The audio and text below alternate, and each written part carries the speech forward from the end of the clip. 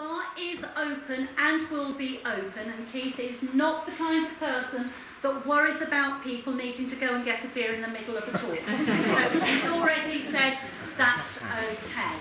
Um, so we have lots of Jack and the Green people here today, and a couple of weeks ago, some of you may have been, I don't know where he's gone, there he is, Barry, who gave a wonderful talk about maypoles, and we had the May Queen um, dancing, uh, maypole dancing in the room a couple of weeks ago, and of course that's next uh, weekend. But for now, it is with huge pride that I am introducing somebody who is very close to my heart, who is going to talk about a subject which is very close to all our hearts. So please, for the founder of Hastings Traditional Jack and the Green, Mr Keith Leech.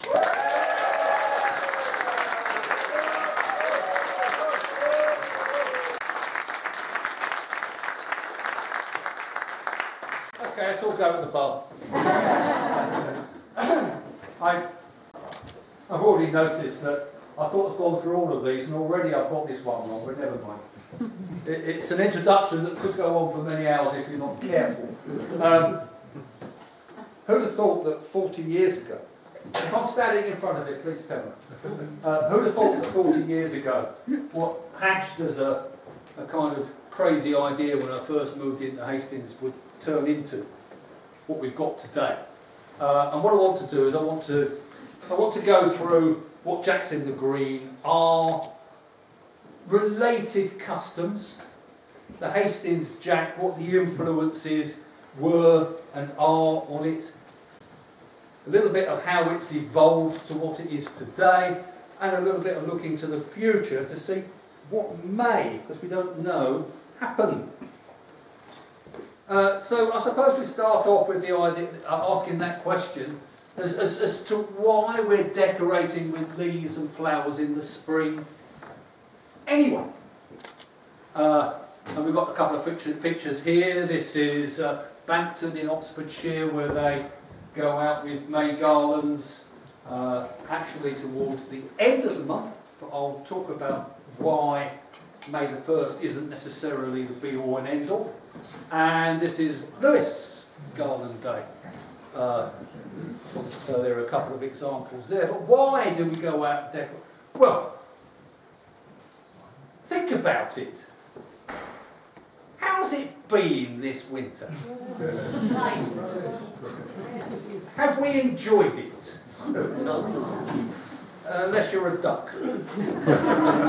uh, I certainly haven't. And it's cost me a fortune in heating. And to finally start seeing the vestiges of spring and flowers and leaves and okay I'm not a farmer but if I were a farmer to actually see the crops beginning to grow I think I'd be very happy and if I were an Anglo-Saxon living in a hut somewhere outside Hastings which they would have been I think I would have been extremely happy because they were all basically farmers. And uh, I think that's a good enough reason. I don't think it's anything to do with anything other than the seasons that people are at last. And who can blame them, to be honest? That's why. Would you like me to advance your slides for I'm fine. Unless you want to. It's that one there. I, Have you just say slide? yeah, I'll do it. thank you. That's really nice. I, I, I do have a, a thingy, but for some reason I can't get it to work. Uh, You've got a new That's the story of our lives, isn't it? The thing that won't work. right. Um, yeah. It's full of them. Uh, so, one of the theories, for want of a better word, about this is that people have cottoned on to this idea of something called Beltane. Beltane being the sort of Celtic New Year, which was about now. To be honest, I feel that this whole idea of it being a vestige of Beltane is the figment of somebody's imagination.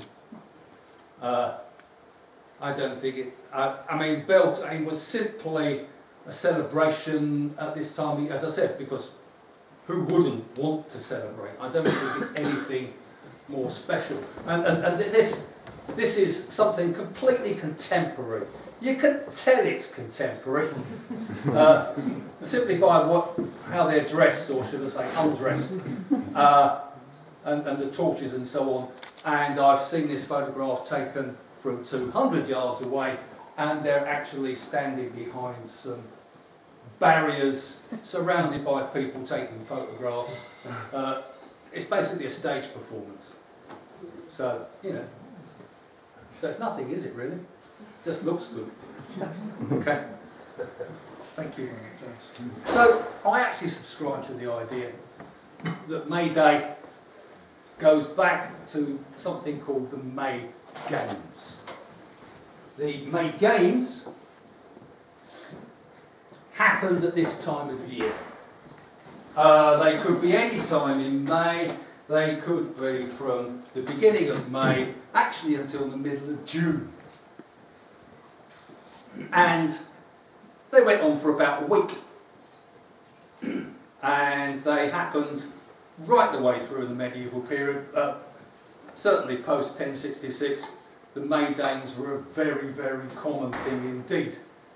And the May Games were an opportunity at this time of year, the seeds are in the ground, they're beginning to grow.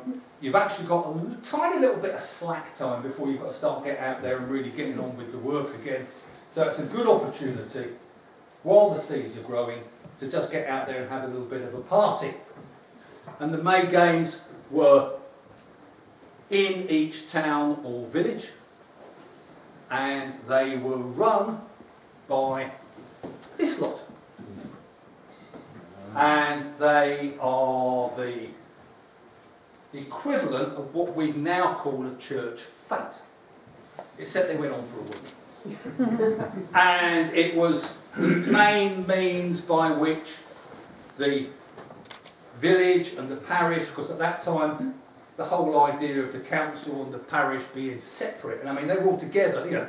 So the money for the village came through the parish, came through the church, came. It, it was the governing body of, of, of, of the town and village, and it was a way of making money to keep the town or village going through the rest of the year, to pay for all those things that need paying for. And here we have the May Games, and there's lots of things on here. There's people dancing in a circle. Uh, there's some people boxing. There's a bloke drinking too much and throwing up.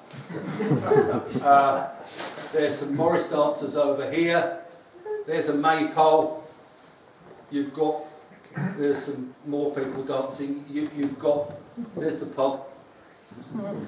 So you've got, oh there's the Morris dancers over the back there. So you, you've got the vestiges of all the things that you would consider to be part of May.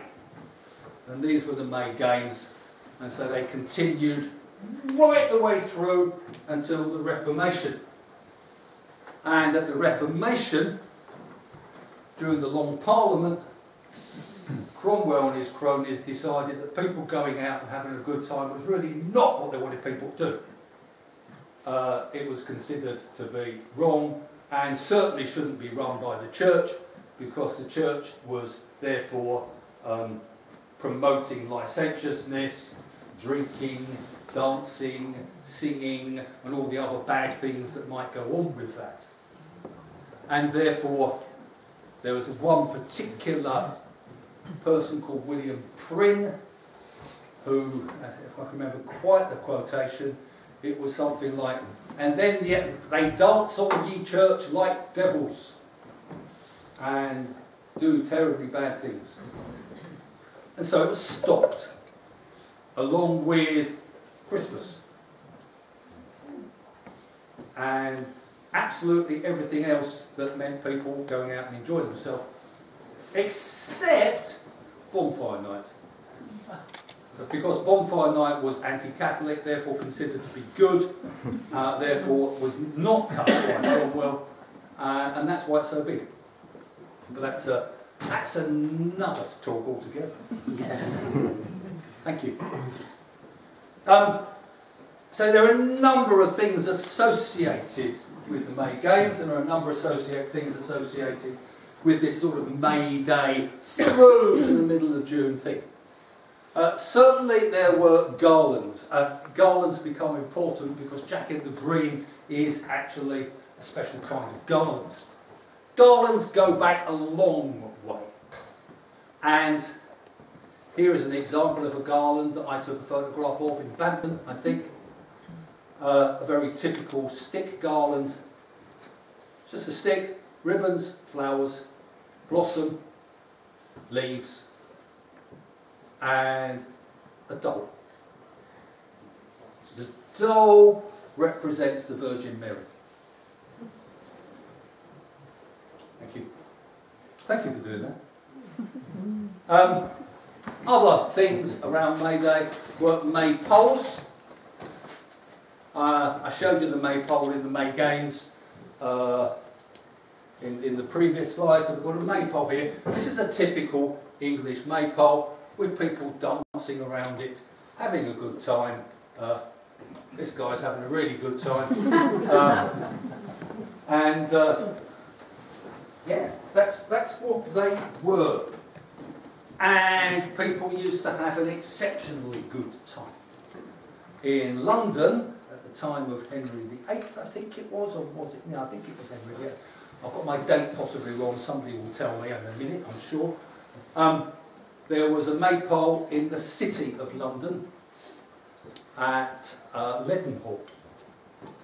And the people dancing around it and drinking around it got so drunk and had such a good time that the authorities came and chopped it down.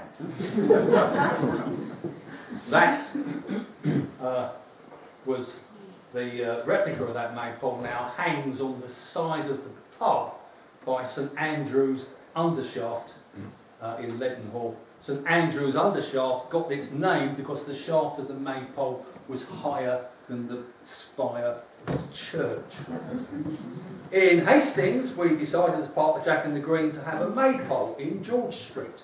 And I can't remember really how years ago it was now, but I, I, I'd finished Jack in the Green, I was at home, I was having a sleep, and the phone rang telling me I had to get down to George Street immediately. And I got down there to find a drunken mob dancing around the maypole, climbing it, throwing bottles at each other, and then someone decided that climbing the maypole was a bit tame, they'd climb the guttering opposite. And the guttering fell off the side of the building and they fell into George Street. And the ambulance, uh, and etc., etc., etc. So exactly the same thing that was going on in Leadenhall about 400 years previously. And you know what the authorities did? They made me take it down. So 400 years later, nothing had changed. Uh, so that's why I haven't got a maypole in Hastings anymore. Where was it? In George Street, in the Butler's Gap. Yeah. Yeah, In I, I saw it with, that on that day, yeah. The- yeah, it was, it was quite fun watching. Yeah. the hole where the Christmas tree goes was originally built for the maypole. So the Victorians decided that this really wasn't a good idea. And, and therefore, they brought in from, now Barry and I were talking about this the other day, I, I believe it's from Germany, Barry believes it's from Italy, it doesn't really matter. But they brought in this. So instead of having a load of adults getting drunk and making a maypole and having a good time and climbing it and falling over and hurting themselves, they brought in something for children who could dance around a maypole and weave pretty patterns and not get drunk. And so that's why we now have this kind of maypole. There's nothing wrong with it, it's, but that's how it evolved. That's where it came from. Thanks. Maypole still exists. That's the one at Barwick in Elmet, which is in Yorkshire. It's just just near Tadcaster. I've been up there so many times and I've never been to look at it, so that's on the list. And uh, it's the tallest maypole in England. They do re-erect it every couple of years, and I really ought to go up there and see it sometime. In fact, I think Barry, we ought to have a trip booked in to do it together, don't you think? We'd Yeah, Have a good time and go and see that. some disagreement about the height. Yeah, and they, and then they climb it. Yeah. Wow. Yeah. On YouTube. Look at YouTube. Uh, there are other May customs. Uh, in the western part of the country, in Devon and Cornwall, they have the dancing hobby horses. Uh, this is Padstow, where I have not yet managed to go because it always clashes with Jack in the Green. Well, I've worked out in the next two years I should be able to. Uh, it's been going on a very long time. It's a very closed community. Uh, they don't like people coming to watch because they consider they're in the way. That, but fortunately, I I know a couple of the Padstow guys, and I'm, I'm hoping I'm going to get in. But even then, I can't be certain. Uh, but that's that's Padstow, which is one of the hobby horse traditions, definitely happening on May Day. Thank you. Uh, this is hunting of the Earl of Rone, which is uh, another hobby horse tradition. I haven't shown you the picture of the horse, I've shown you the picture of the Earl of Rone. Uh, this happens in Combe Martin on the north coast of Devon. Uh, it's actually a revival, uh, so, so they're a little bit more open. Uh, and uh, I think Heather and I have been along for the last four or five years, and uh, we built up a nice relationship with the, with the village. And a few of them are coming to Jack and the Green on Monday. In fact, a couple of them might even be here already. They're not bringing their hobby horse, they're not bringing, but they will be here. So that's really nice. So we've got that lovely link with the West Country traditions. So who is that character? That character is the Earl of Rone. The Earl of Rone uh, was apparently some kind of fugitive who uh, was hiding in the woods in Exmoor. And uh, they were looking for him, and the Grenadiers went out and discovered him hiding in the woods. And, and actually, they, they reenact that. You know, this person goes and hides in the woods, and they have to find him. Uh, and, and, and once, once they found him, uh, and he's got these biscuits round his neck, because that's what he was eating. And he's stuck on the back of a donkey facing backwards, raided de- through the village, and every so often they shoot him. And he falls off the donkey, and the horse comes along and kind of dances over him, and he jumps up again and sits on the back of the horse, and off they go again. Uh, and it's great. Uh, and we, we stop at every pub in Combe Martin. And, and until we get to the sea about 12 hours later. And then uh, the horse comes along and he can't revive him. He's on the beach and he can't be revived. And so they pick him up and they, they run down. The whole village, right, it's amazing, the whole village just runs down to the sea as they chuck him into the sea. Or they- They've actually changed it for a dummy. Uh, but they, so some poor fisherman or trawler going up the Bristol Channel, what on earth is that? Body floating past. It's great. And it's at the end of May. It's uh, late May bank holiday. If you want to go and see something interestingly different, go to the Earl of Rone in Combe Martin and, and, and say hello to them when they're in Hastings because they're coming down. They'll be coming down later on tonight. In costume? Yeah, but you, you- probably won't think because it's just they're just sort of wearing Victorian type stuff, but they'll be here. Another example of uh, a May garland is the one in Castleton in Derbyshire. This one's great fun. Uh, another one goes on all day. Um, it's a it's a bloke on horseback, and uh, they pop the garland on, on top of him. Uh, he's got a woman with him, the, the, the lady of the May. The lady of the May used to be a man, but it's now a woman. And they go all around Castleton. They beat the bounds with it basically, all day long, going from pub to pub. Uh, there's a maypole, there's kids doing maypole dancing, they've got their own dance, they've got a brass band. And then at the end of the day, the horse goes into the churchyard, a hook comes down from the tower of the churchyard, hooks onto the garland, and the next you know, whoop, it goes straight up the tower, and it sits on top of the, uh, one of the spires on top of the tower until it falls off. there you go. that's Castleton. And that's another one, and that's on the 29th of May, it's on Day. Thank you. Um, so that's a sort of resume of some of the main customs that are around that are associated with Green. And now, now let's move ourselves into, into London. Uh, London started to grow in the 18th century, really. 18th, 19th century, as people came out of the villages into the towns. You've got the Industrial Revolution, you've got people going into the towns up north, into the mills and all the rest of it. And you've also got people coming down into London to make their fortune as we're moving from an agricultural society into a more industrial society. Uh, I've been looking back through my own family history and all that, and uh, yeah, I'm a DFL by the way. And uh, I, I noticed that uh, most of my London family moved into London probably in the early and mid 19th century. And before that, they'd come from various rural villages around London. Uh, oddly enough, a load of them, and I had no idea at the time, from this place called East Sussex. Just come back where I came from. uh, anyway, the milkmaids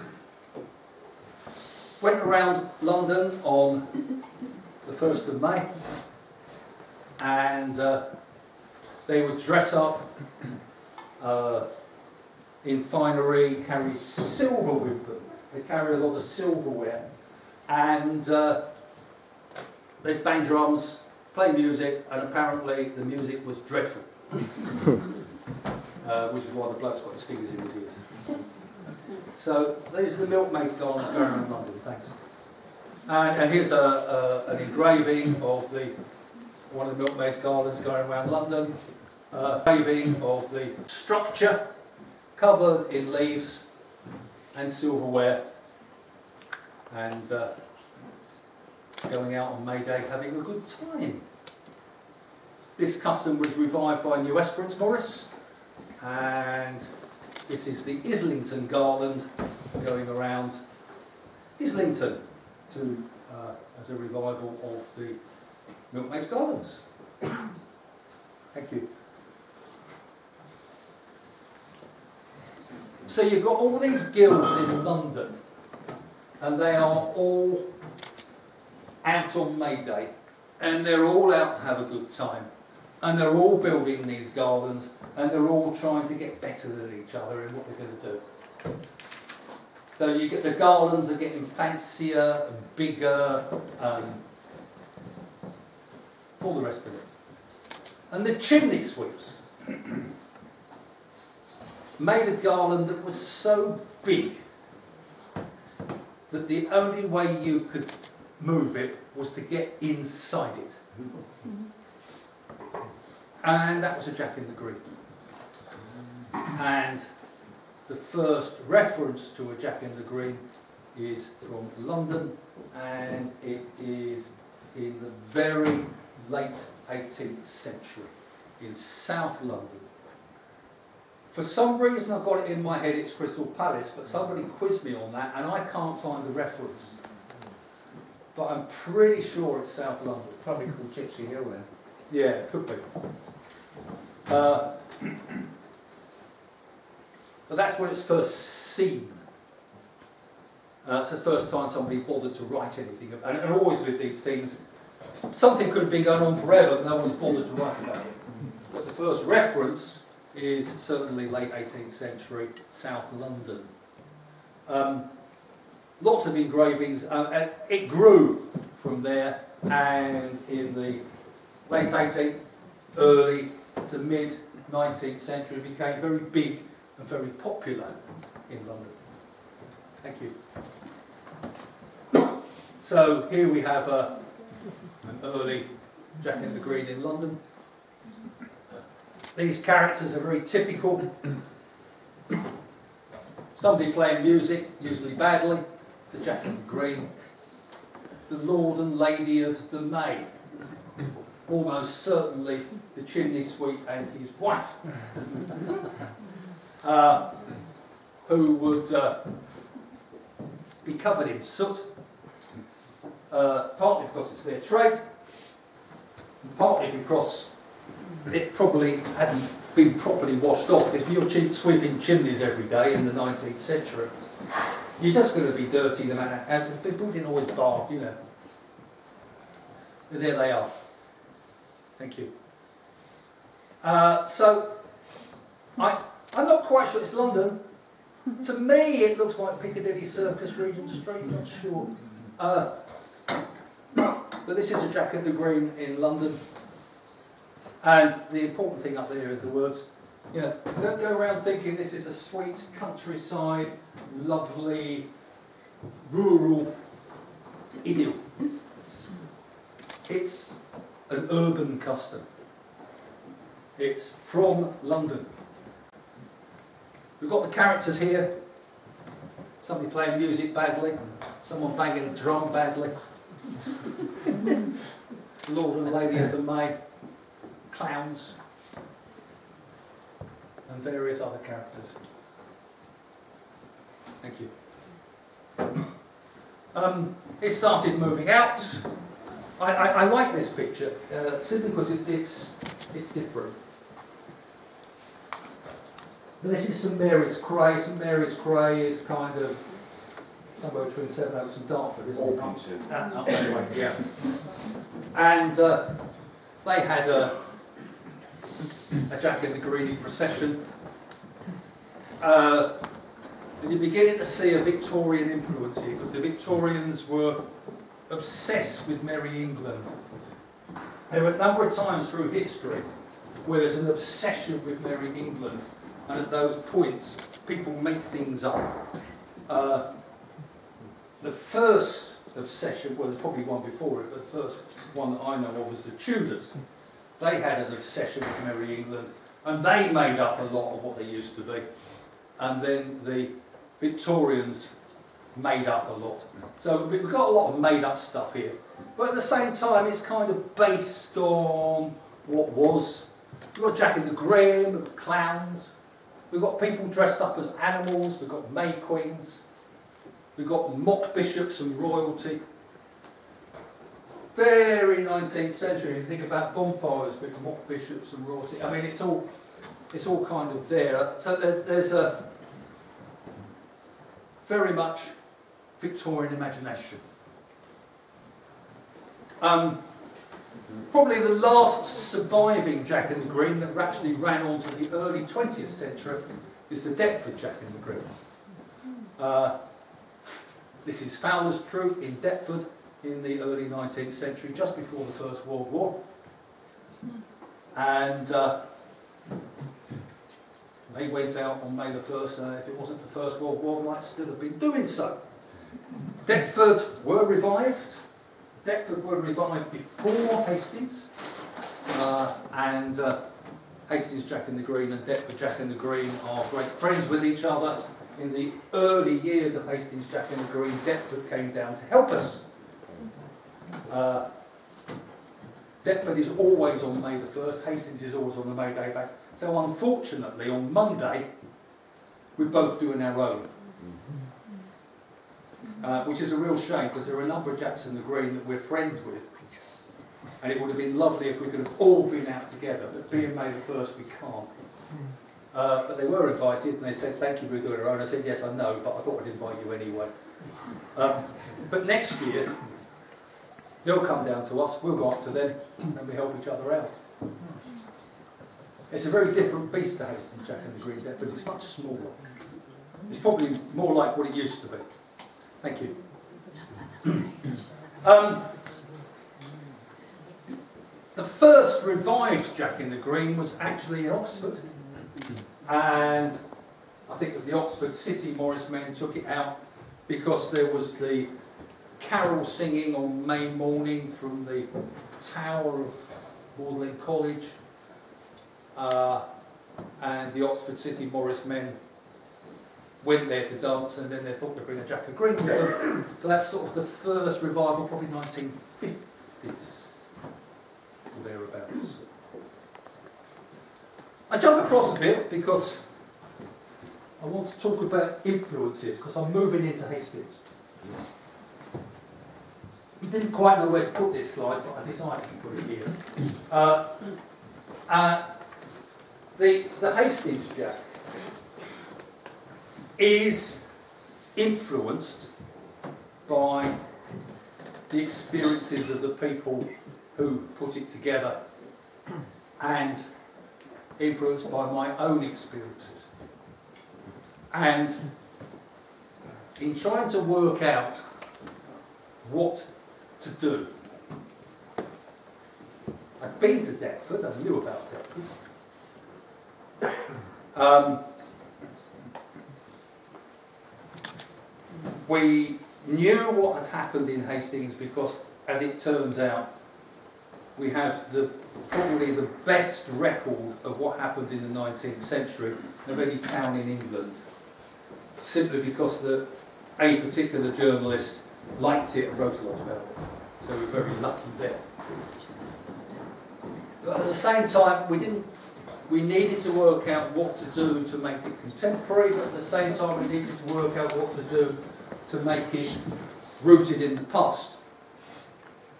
I couldn't get a time machine and go back to 1840 Hastings. What I could do, what we could do, was go across to Europe where they have four, five, six hundred year old customs that are still continuing. Uh, and this is La, La App, which is just south of Brussels. And they have probably the oldest giant festival in Europe that's still going and it's been going on for about 600 years. Uh, so if I want to look at something old, that's a good place to go. And a lot of us went.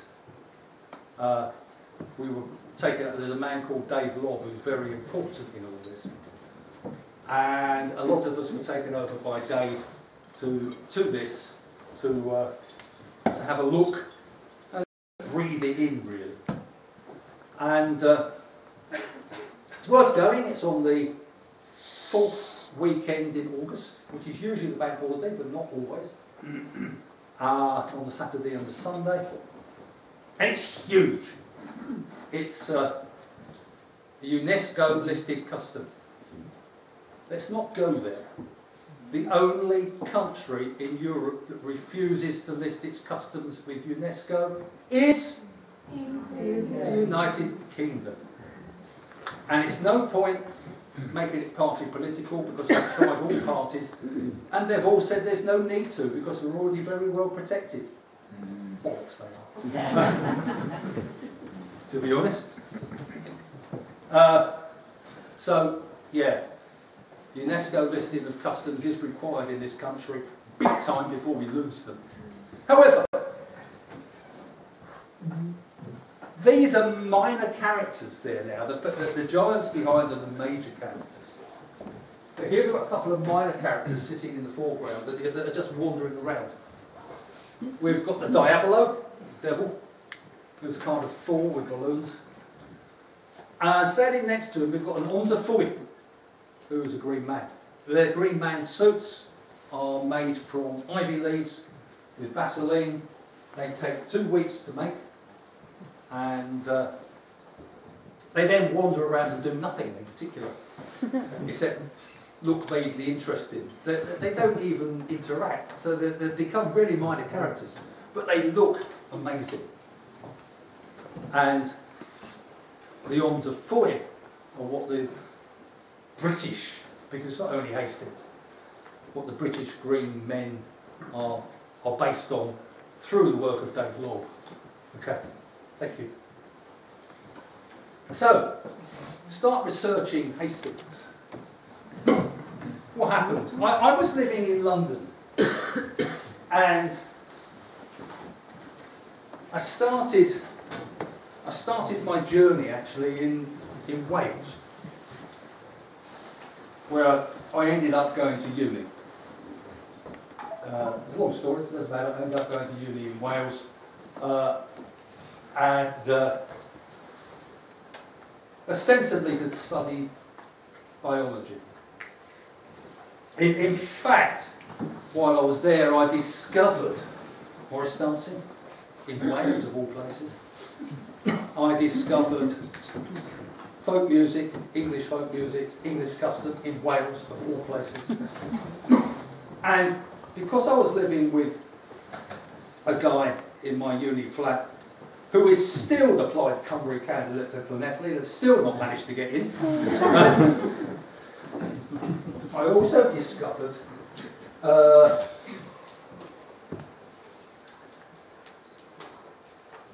pride in your own culture. I won't call it nationalism, I'll call it pride in your own culture. Because nationalism's bad and pride in your own culture is good, if that makes sense. Um, and so I became obsessed with this. And when I went, got, got back to London, so I went back to London to, to teach with some crazy idea that I could go to, go to the East End where I came from and bring all these kids up. And it's another story. It didn't work. Um,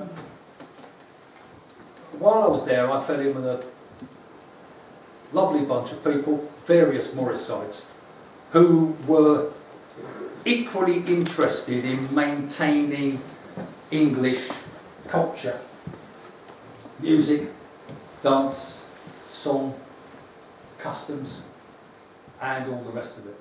But more, more so, also interested in bringing back things that had died, that were no longer properly happening, such as the dancing giants, such as Jacks in the Green, and things of that nature. And, and the driving force behind that is Dave. Dave came down to the original Hastings Jack in the Green to help us.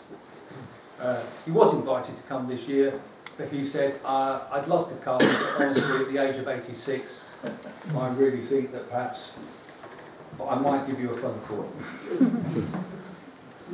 Gordon over there was there.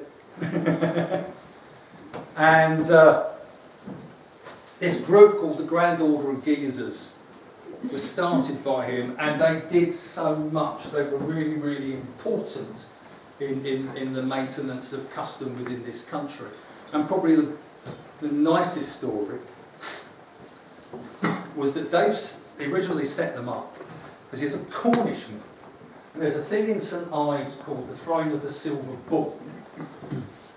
And he'd heard it wasn't going to happen anymore. So he got a bunch of his mates to go down to Cornwall to do it.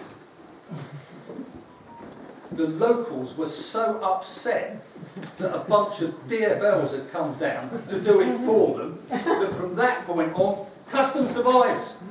That's important.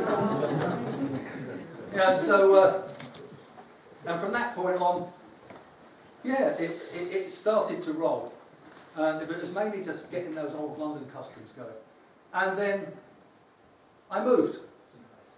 I came and I had this East End lad obsession that ever since I was born, that I was going to leave the East End because it was a shithole.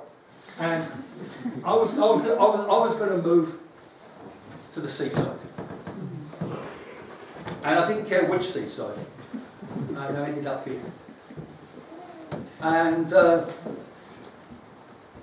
I'd now got the bit in my teeth about customs. And I'd also learned how to do folk research. So I dived into the library. And almost the first thing I found was this photograph. Plus this huge amount of information. And it, it dawned on me what needed to be done. Um, this is, as was the St Leonard's Jack in the Green in the photograph. You could probably recognise it. It's the, it's round the back of the Masonic Hall. Uh, and you've got the characters there. You've got the Jack in the Green. You've got the man that plays the drum badly. You've got his wife. Rather unusually, we don't have a lord and lady. We've got a clown. But we've got these people in these kind of raggy coats, which you don't find in the London pictures. Uh, it's a black and white picture, so we've no idea. They might have been bits of newspaper. They might have been cloth, they might have been leaves. We can't tell. It's too. But they're there. And they've got darkened faces. Almost certainly soot. But even way back in 1983, we, kind of thought that maybe using soot might be a little bit kind of more dodgy these days. And uh, face paint had become a thing, it existed. Uh, and therefore green paint became the order of the day. But I doubt they were wearing green paint then because it didn't happen, it wasn't there. Thank you. so in 1983, we did it again. Uh, almost, uh, uh, approximately exactly 100, 100 years after the first photograph and after the Jack in the Green had stopped. Uh, and we all looked considerably younger. Uh, Which one's you? Yeah, which one's it? nah. Which one's it? Which one's it? and there are Heaven, that's Marshall. There are one, that's Nick, two, three, four, five. Anyway, basically there's one, two, three, three of those people, I think it's just three, are still doing it. You. I'm one of them.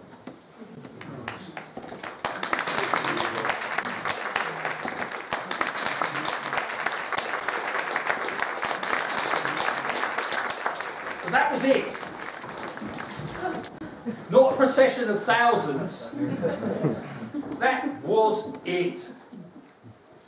And we started on the West Hill, and we started at dawn, and we didn't think there was anybody to dance with at dawn, so we went to the fire station because we knew they'd be open. and we, had, we all had to go on the pole. And, uh, yeah. Well, this, by the way, is Mick the Pole, who uh, was there from the beginning. He was one of the original Deptford, London people that come down to help us. Oh, yeah. And uh, this was the Jack in the Green. Soon after this, we went to Mr. Cherry's and it fell apart. uh, and yeah, but we did it. And it was just, that there was nobody watching, just a load of people standing around going, huh? Uh, when we did them in, in London, it was the same. Uh, this, uh, this has turned up when, uh, when Lorna did her, what, uh, what have you got by way of history of the last 40 years? Uh, I don't I, I got it from Andy, I don't know where you got it from. Uh, Dave Lobb, actually. from Dave Lobb. Dave Lobb yeah. Yeah. Somebody had actually hung on to my original instructions. uh, and I, I, we've been looking at, we're wondering how much of this is prophecy.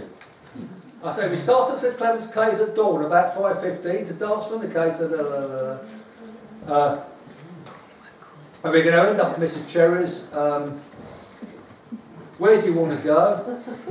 Uh, I think we might need some green men. Have we got any volunteers? now people are just busting a gut to do it. Uh, it's very important that the Jack in the Green keeps on dancing no matter what. Uh, remember, we will be with the public and other Morris sides when we try not to be offensive. Very hard to beat the. Def, definitely prophecy. Uh, extent of commitment. Although it'd be nice to have you there all day. I know what you're like, and half you, but if you come along for some of it, that'd be good. uh, and, and, and rather interestingly, because we've been having a discussion about it lately, uh, even then I said, and I think we will have a trolley with beer on it. Right, thank you. So that's 40. Shall we have a cake bearer? Yes, you have a cake bearer. We, did, we never did have a cake bearer. If anybody wants to bring cake, we'll, we'll, we'll have it. um, so, Jack in the Green in Hastings, this, so it was there in the 19th century. It was revived in 1983, but in between, there were other revivals in the area. And it happened with the May Queen in Hollington in the 40s and 50s. So here is the Hollington Jack and the Greens was, which, which sits in the middle there, thank you. Um, and here we have the Hollington May Queen. Thank you. And this is interesting, I'm going to have to, I'm going to have to fiddle with this. Are you saying then that the Hollington May Queen's the same as Jack and the Greens and a bit different? It's a bit different, but it was, yeah, it was, it Jack was a and Jack and the the Green, Green was was Jack. based on it, be careful Yeah. what it's placed. And, uh, remember this is 1983. They kept very quiet about it. And I didn't know about it particularly until relatively recently, and a recording has re- turned up from Rye in 1982. And way before I came down, there was a schism in the local Morrisites. I don't know why, and I don't want to know why, because it's ancient history and there's no schisms anymore, but there was. And one of these schisms went off to Rye. I won't play all of it for you, but I'm going to give it to Owen to put on the website because it's 10 minutes long. However, we'll play some of it. If I can get it to work.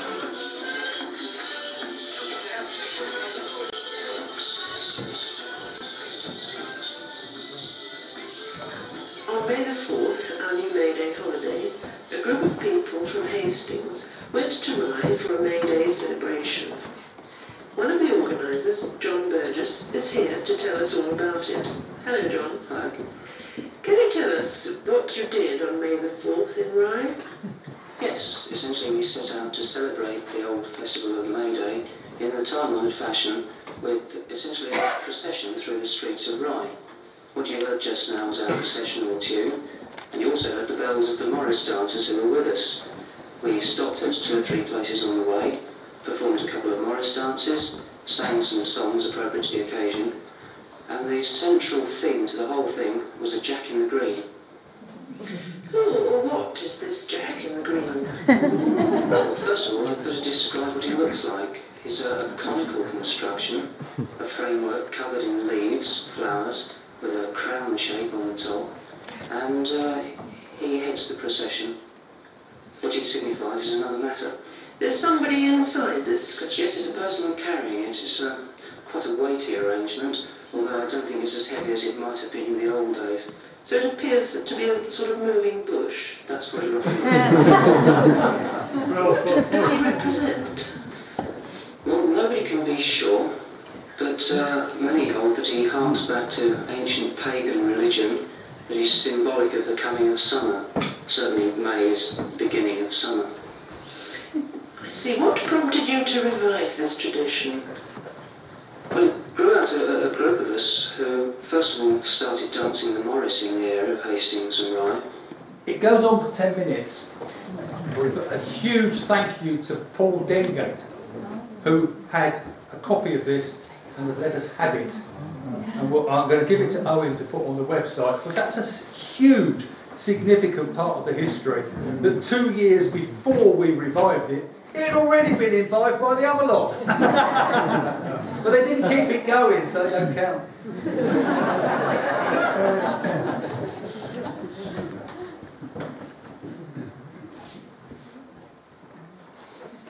So but that's, that's, that's re- and, and I'm, really pleased that I can finally acknowledge that. So, Jack, as we know, is now back in Hastings, uh, and uh, here's here's more of what we kind of know today. Uh,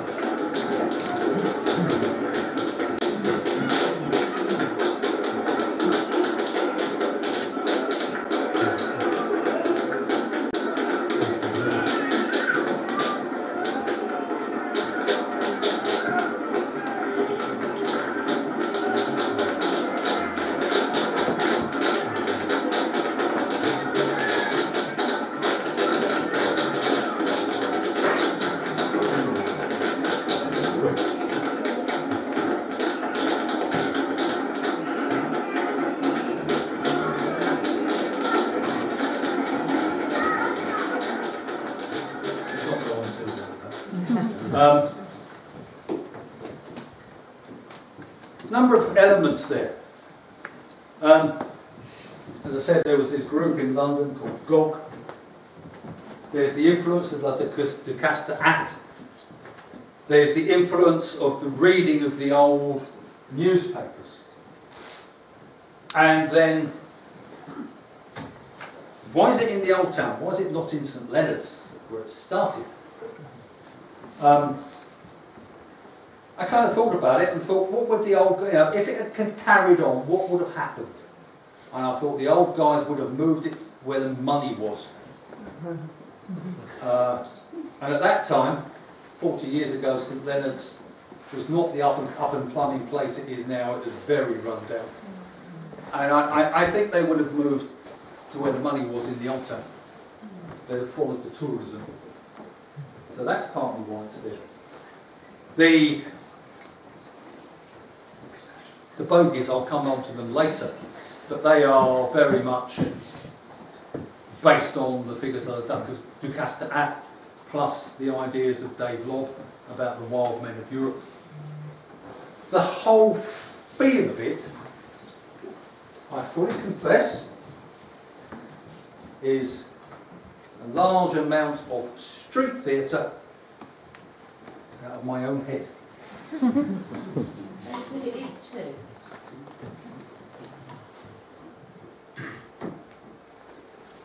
So it happens in the old town. The Morris. Um, it wasn't originally the Morris, it was the chimney sweepers. The reason it's the Morris is because I was a Morris dancer, I still am a Morris dancer, and I went to the team and said, let's do this thing, and they said, what a good idea. Uh, that was Mad Jacks, who are still primary organisers, along with Hannah's Cat, the other local team.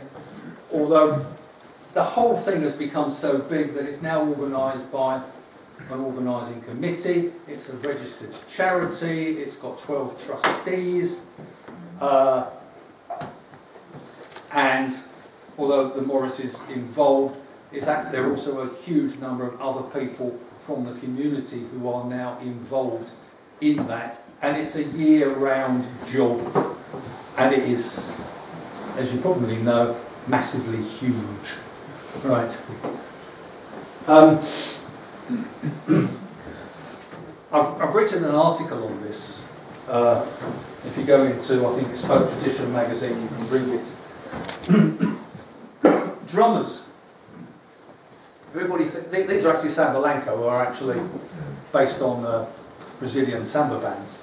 Uh, but the, the drummers that are around are actually relatively recent.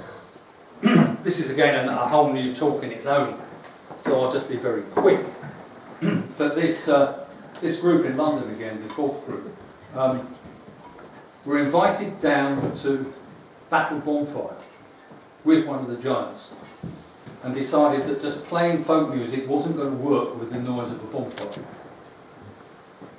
And therefore worked out that banging drums, and they'd seen a load of drum work in Bremen, to have been over to Bremen Carnival, would, would work better. And they didn't know how to work it out, but they were folk musicians, and so they based the rhythms on nursery rhymes. For example,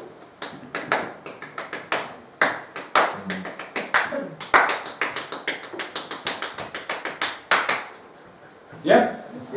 From that has sprung out this whole drumming tradition in Sussex that people think is terribly old. And I can trace it back to 1972. right. The Giants, these are also really straight from the mind of Dave Lobb, who revived the Giants in England. Um, and, and- and fantastically, the drumming was his idea, the Giants were his idea, and people have copied it, which is great. Jack in Green was his idea. It's fantastic, Green. Yeah. What's the time? I'm going on too much. um, chimney sweeps were the original uh, people that looked after Jack and the Green. And many years back now, I had a telephone call from Barry, who was sitting over the back there. And he said, You know this Jack and the Green you do? I said, Yeah, Barry. He said, uh, They're originally brought out by the Sweeps. I said, Yeah, no. he said, I have a sweep. And I said, "You're going to come? He said, Yes, please. And that was it. um, the Milkmaids, uh, based on the, the milkmaids that predated Jack and the Green. Uh, they originally appeared because all the blokes carrying the Jack and the Green were blokes and their wives and girlfriends wanted to do something. And, and so they, they sort of came along with the, the idea of the milkmaids. Uh, that's Heather over there, who's one of the first to sort of come up with this. He is my son who now carries Jack in the Green. Thank you. Uh, so they're the milkmaids dancing a couple of years ago, which is lovely. Uh, the jack itself, well, we've kind rhododendrons. The reason we use rhododendrons is once again Dave Lobb's idea. Uh, rhododendrons are, if you don't know, a weed. They're a bit like knotweed. They're not really wanted. They choke everything around them. They're not very good, and you can slaughter them and not worry about ecology because they shouldn't be there anyway, and they're going to regrow like billio.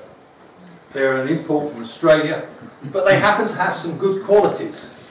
They cover very well, and because they have a waxy cuticle, they can last two or three days. So the reason we use rhododendron is, is just that. Thank you.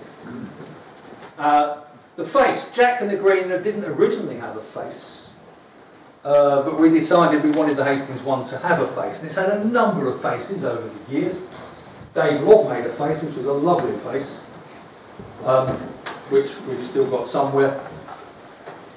And then this is the, the modern face, made by Marty Dean, who is one of the bogies.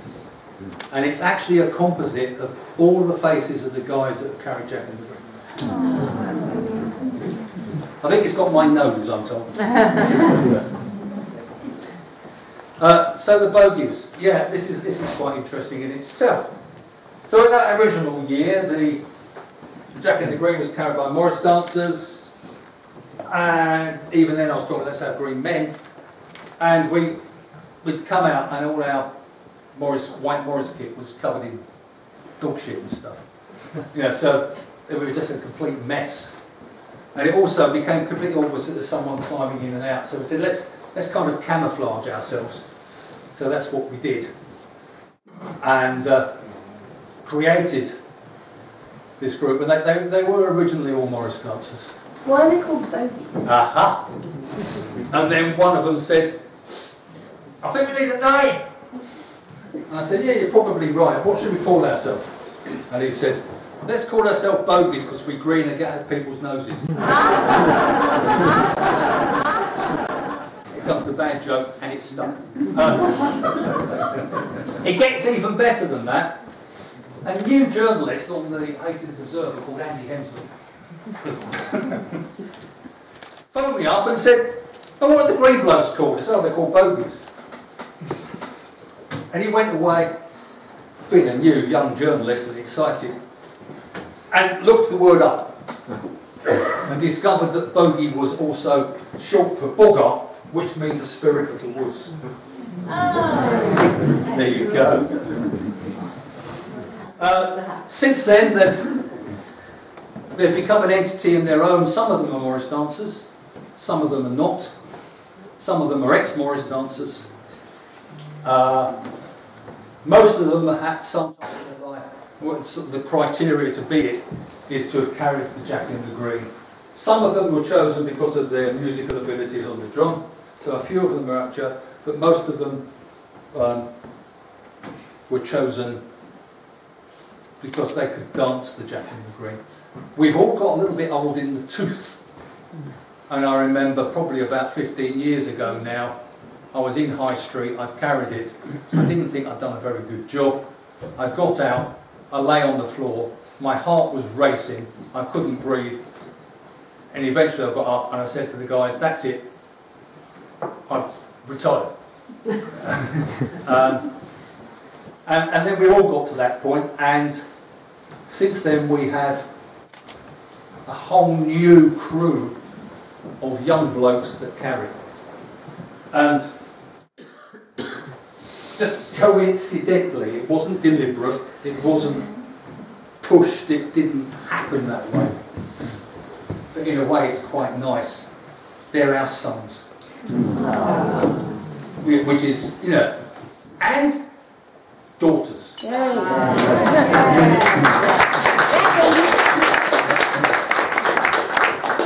And sons-in-law and daughters-in-law. so we, we appear to have developed something of a dynasty. Um, we originally used to take it up, well, in the first year we took it to West Hill, we just did something weird outside the West Hill Cafe. uh, after that we went into the castle, but we outgrew the castle. So we've had to move on to the West Hill because it becomes so popular. Trouble with the West Hill, it doesn't have the atmosphere of the castle, and it has a number of disadvantages. In particular, there's nothing there except grass. Therefore, everything that we need has to be brought in. That's water, power, toilets. And one of the biggest problems is that you lot wee too much.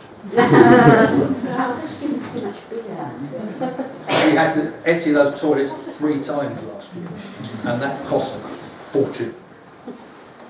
Uh, But I'll come on to that later. Thank you.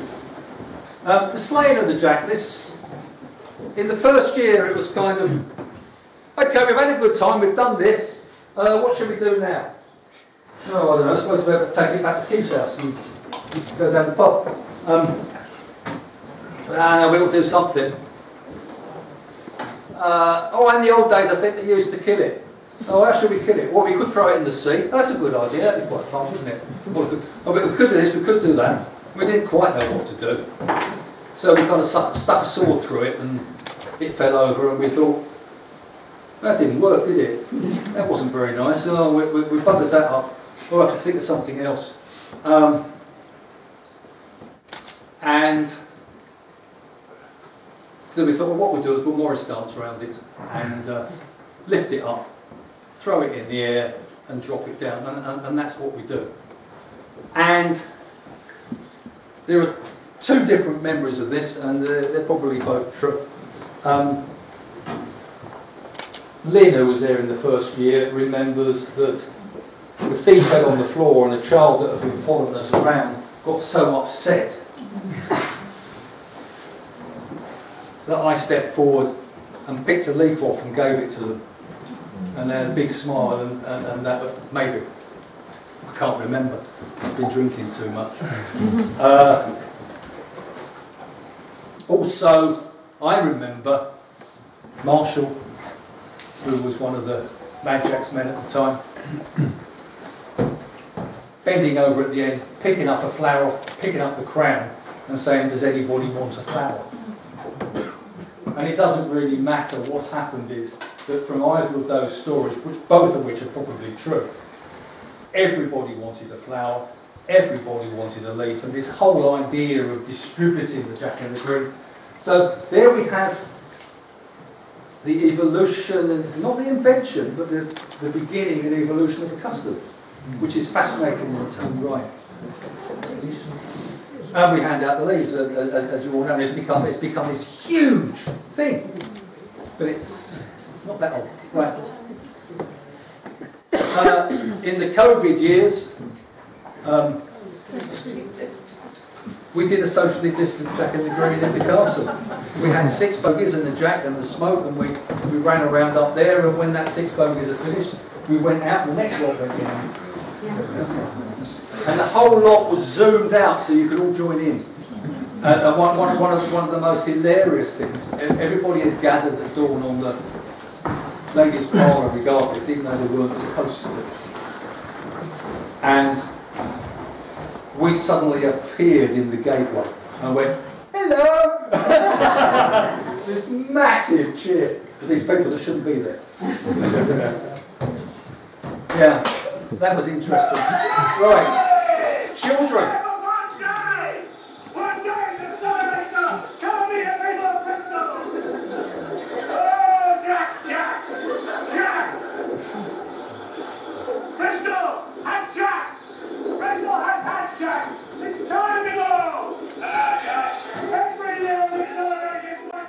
That's the Bristol Jack in the Green. That's Jethro who's running around making all that noise.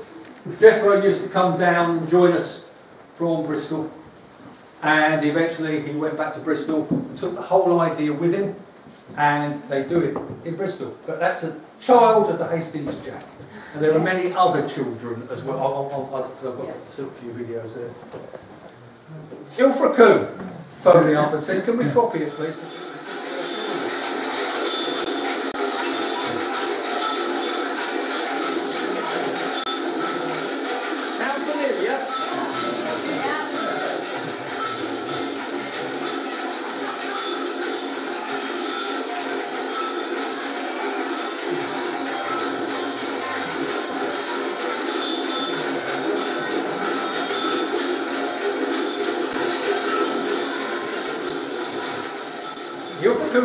Which is another child of Hastings the Green. And you've got to remember that Hastings Jack Green is the child of Deptford, so. So, yeah, I'm at the end.